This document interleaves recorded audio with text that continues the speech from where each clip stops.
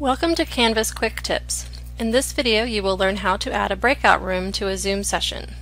Breakout rooms allow you to split your Zoom meeting in up to 50 separate sessions. The Zoom meeting host can choose to split the participants of the meeting into these separate sessions automatically or manually and can switch between sessions at any time. This video covers enabling breakout rooms and using breakout rooms. Only the host can assign participants to breakout rooms. The co-host can leave and join any breakout room only if they join a breakout room assigned to them by the host. Users joined using Chromebooks or Chrome OS devices or Zoom rooms are unable to join breakout rooms, but the main room can be used as an alternative session for these users. If the meeting is being cloud recorded, it will only record the main room regardless of what room the meeting host is in. Breakout rooms are enabled in the Zoom web portal. In Settings, Navigate to the Breakout Room option on the Meeting tab and verify that the feature is enabled. If Breakout Room is disabled, click the toggle to enable it. Click the checkbox to allow Meeting hosts to pre-assign participants to breakout rooms. After enabling breakout rooms, you can do the following. Manage breakout rooms and participate in breakout rooms. Here are the steps for creating a breakout room.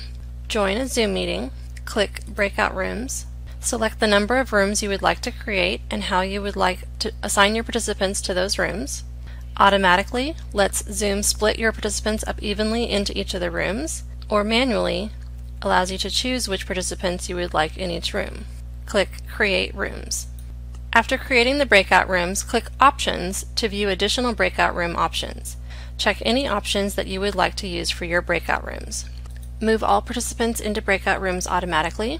Checking this option will move all participants into the breakout rooms automatically. If this option is unchecked, the participants will need to click Join to be added to the breakout room. Allow participants to return to the main session at any time. If this option is checked, the participants can move back to the main session from their meeting controls. If this is disabled, they need to wait for the host to end the breakout rooms. Breakout rooms close automatically after X number of minutes. If this option is checked, the breakout rooms will automatically end after the configured time. Notify me when the time is up. If this option is checked, the host will be notified when the breakout room time is up. Countdown after closing breakout rooms. If this option is checked, the participants will be given a countdown of how much time they have left before being returned to the main room. To manually assign participants to your rooms, select Assign next to the room you wish to assign participants to, and select participants you want to assign to that room. Repeat this for each room. Once a participant has been assigned manually or automatically, the number of participants will show in place of the Assign button. After manually or automatically assigning participants to rooms, you can rearrange the participants. Participants who are not assigned to breakout sessions will remain in the main meeting when the rooms are started. Move to will select a room to move the participant to. Exchange will select a participant in another room to swap the selected participant with. Recreate will delete existing breakout rooms and create new ones. Add a room will add another breakout room. Open all rooms will start the rooms. All participants will be moved to their respective rooms after confirming the prompt to join the breakout room. The host will be left in the main meeting until manually joining one of the rooms.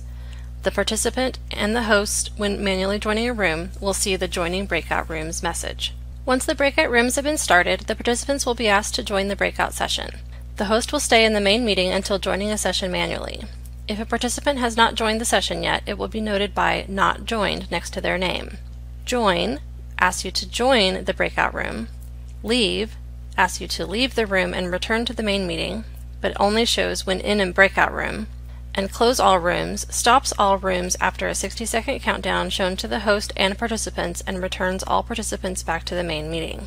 Participants in breakout rooms can request the meeting host join their meeting by clicking Ask for Help. You will be prompted to join the room where the request originated from. Click Join Breakout Room to join the room. The host can broadcast a message to all breakout rooms to share information with all participants. Click Breakout Rooms in the meeting controls, click Broadcast a message to all, enter your message, and click Broadcast. The message will now appear for all participants in breakout rooms. To end the breakout room session, click Close All Rooms. Remember to contact your instructional design partner for any questions or assistance with Canvas.